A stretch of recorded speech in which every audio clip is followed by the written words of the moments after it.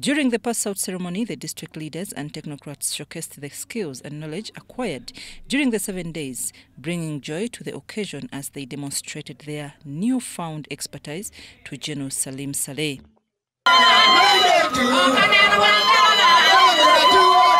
Later, General Salim Saleh expressed his disappointment to Stephen Tumwine, the Senior Development Officer in the Ministry of Local Government.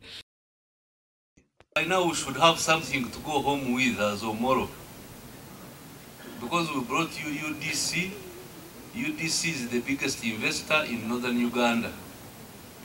Right now, I think 60% of their portfolio is in northern Uganda.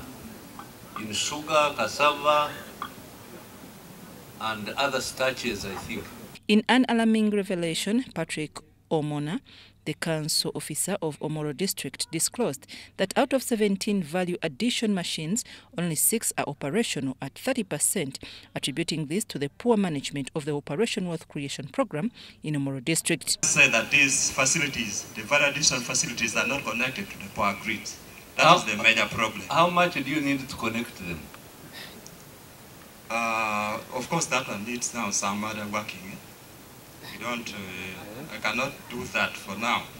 General Salim Saleh even contemplated non-certifying the 500 individuals who completed the ideological course at the Northern Uganda Youth Development Center in Labora sub-county.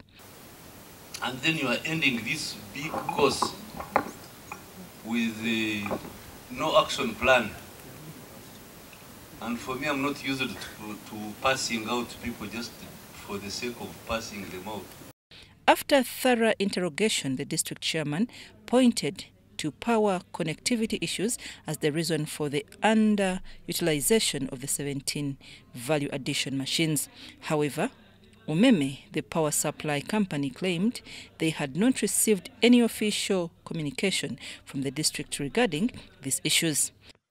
Beyond the investment centers, of course, we have major trading areas. For example, War Trading Center. So many promises have been made, but once you power that a War Trading Center, there's a health center, there's a hospital, there's a there's a school, there's a church, there's other facilities. When you proceed up to Malava, which is towards the end of the constituency, there are so many things that can be done once there's power there. So there are things that we can do. There are low-hanging fruits. Those two just need transformers. Acknowledging the challenge, the woman member of parliament of Omoro district, Catherine Lamwaka, promised to address the gaps and work with other district leaders to rectify the situation. We have already resolved as a district that we want to move forward. And we already know that we are a poor district. Our population is poor.